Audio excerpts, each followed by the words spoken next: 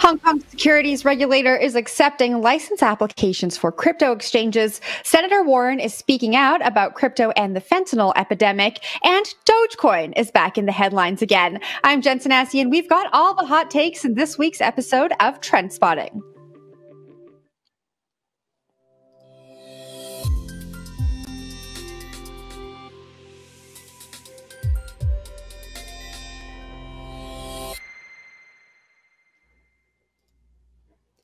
All right, we took a look at the Google Trends data over the last seven days, and Hong Kong is gaining a lot of search traction online. Hong Kong Securities and Futures Commission started accepting applications for crypto trading platform licenses on June 1st. Here's what InvestHK head of financial services and fintech King Leung told us on Coindesk TV yesterday about the changes. Today, the I guess enactment of the enhanced regulatory regime the operators that have been operating uh, in Hong Kong, they'll be giving, uh, before June 1st, they'll be giving the transitional period of one year to continue to apply for the enhanced license. So in the meantime, they can continue to operate. However, for firms or exchanges that have not been operating in Hong Kong prior to June 1st, 2023, and from this point onwards, they can no longer operate uh, in Hong Kong. Uh, otherwise, there'll be a criminal offense. So they have to apply for a license. Until they get the license approved, they cannot operate. Lawrence Lewitinn joins me. I think you saw him a little bit earlier. Lawrence, we had that conversation with King Leung yesterday. We spoke to Justin Sun this morning about Huobi HK launching in Hong Kong. What do you make of this kind of sudden buzz around Web3 and crypto yeah. in Hong Kong? Yeah, it seems that there are a lot of there's a lot more interest, a lot more activity going on uh, with people looking at, at Hong Kong as a potential place for them to trade. And, and that, of course, happens when a regula- regulator says, you know what, we think we might have, uh, you know, some clarity. I think that's basically what it comes down to.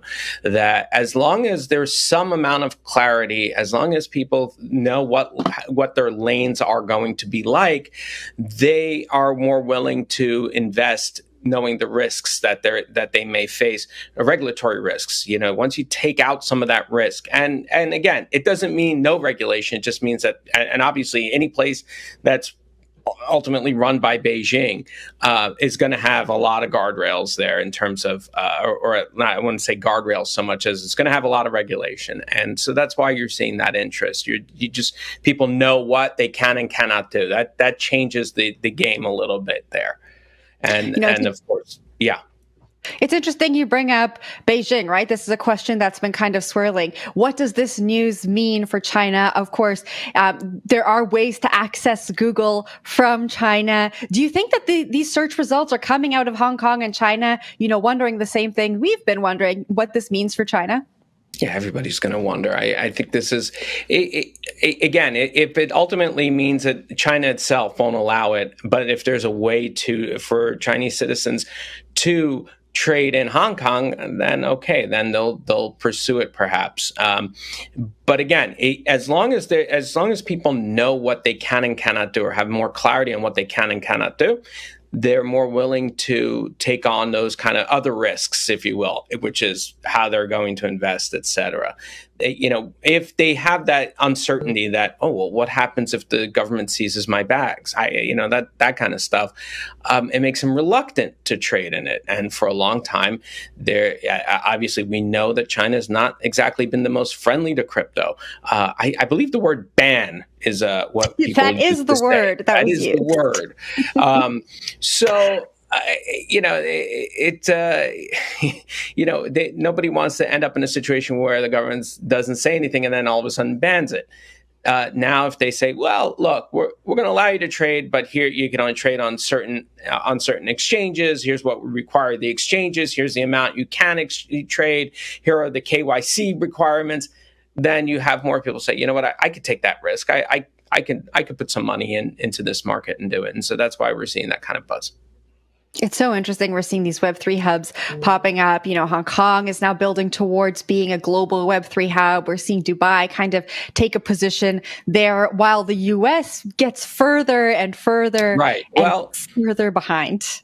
That that's in part because the regulator in the United States has basically said almost all crypto other than Bitcoin it, it, are is security.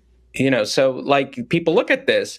Um, and they say, "Well, gee, I yeah, I might own such and such uh, uh, cryptocurrency, but if it's called a security tomorrow and the exchange that trades it all of a sudden is going to be is going to require a lot of licenses uh, by the SEC, and maybe they'll say, I, I, you know, why would I want to trade that? So that that again, that's the kind of difference.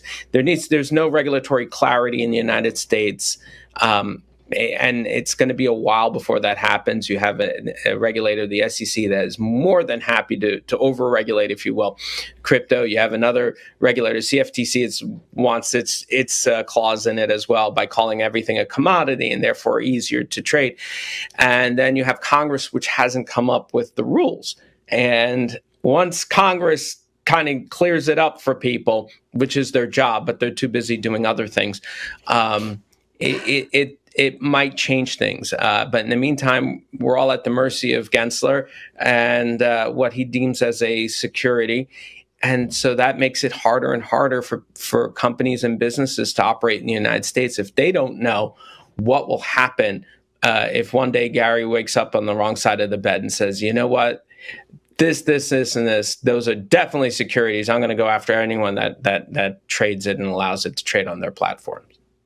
Speaking of the U.S., another hot topic on Google this week was Senator Elizabeth Warren's comments. She cited a recent report detailing the rampant use of cryptocurrency in the Chinese fentanyl trade during a Senate hearing earlier this week, arguing for legislation to help break the pipeline. You know, Lawrence, I predicted that this was going to happen right after after the Elliptic data was released. Elliptic and I believe Chainalysis released data that said, you know, people are using crypto businesses are accepting crypto. These are Chinese businesses for precursors to fentanyl. When I read that report, I said, oh, we're going to hear this from U.S. officials very, very soon. And here we are, Senator uh, yeah. Elizabeth Warren talking about the fentanyl trade as it relates to crypto. What did you make of this?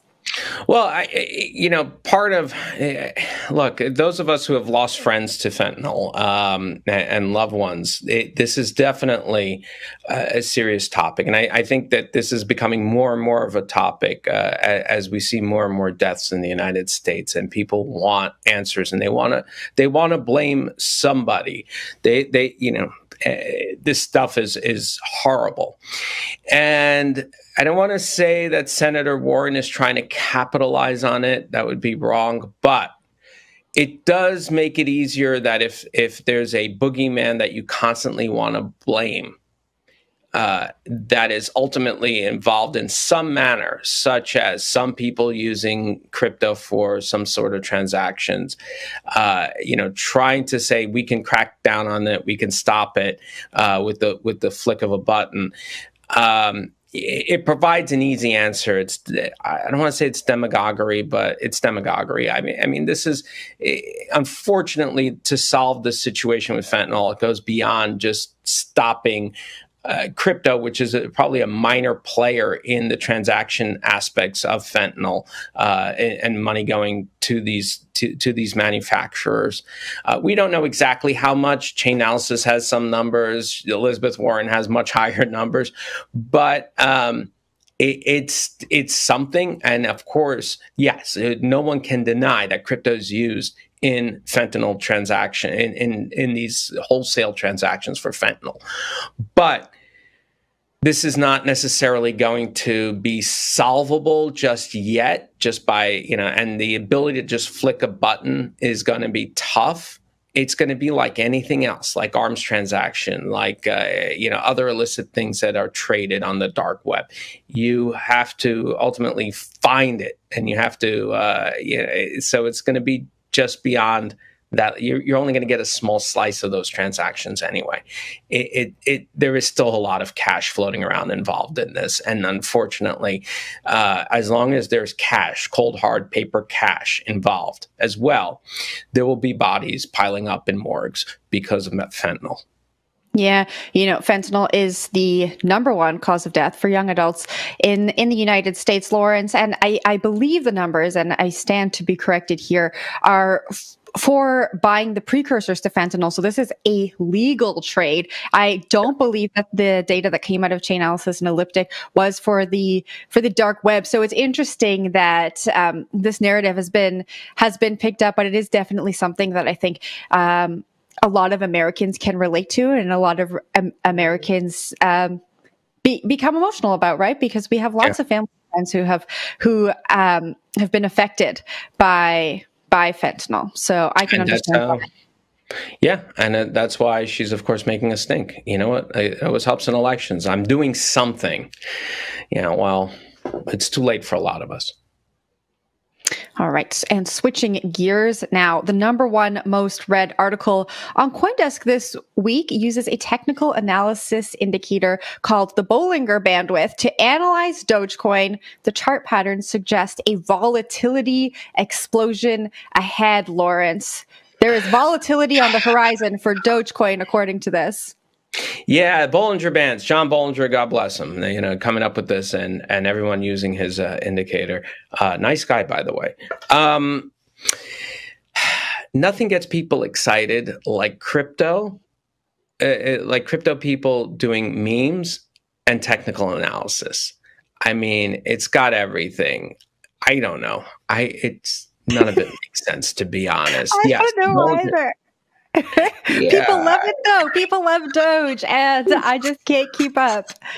It's yeah, I, but you know the, the excitement of Doge always has been this sort of like it's a play. It's definitely a play currency in in many respects. It's purposely uh, priced so low that you just own a lot. So there's a psychological effect of seeing you know your account full of millions and billions of something, um, and uh, at the same time you know, what are the fundamentals of Doge? Oh, there's not many. Uh, so I guess people kind of turn to technical analysis, and it's again, it's it's fun, it's cute.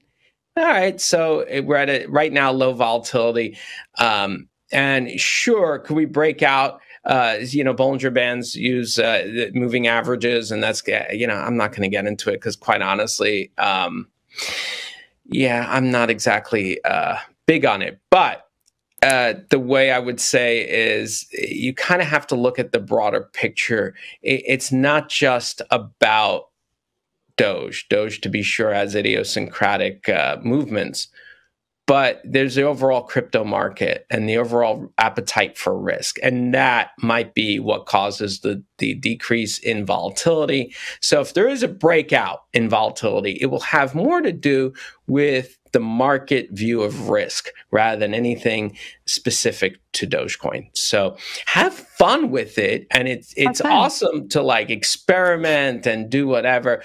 Don't put your kids' entire college money in it. I think that's great advice, Lawrence. I, I think, you know, put 10, 20 bucks in it, play around with it, share the dog memes, have some fun. I think that's a great story to go into the weekend with. That's a wrap on this week's trend spotting. Time to touch grass now, Lawrence. See you next week.